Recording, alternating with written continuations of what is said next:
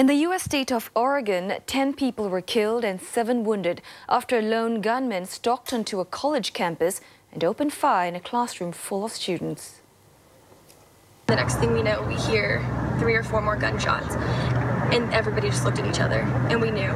We knew something was going on, and like, this is real. The gunman moved to other rooms, methodically gunning down his victims. Witnesses say he demanded to know his victims' religious beliefs before opening fire.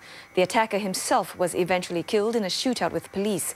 No explanation has been given for his actions, but authorities say the attack is one of the deadliest shooting incidents in the U.S. this year. It prompted another plea for gun control legislation from President Barack Obama.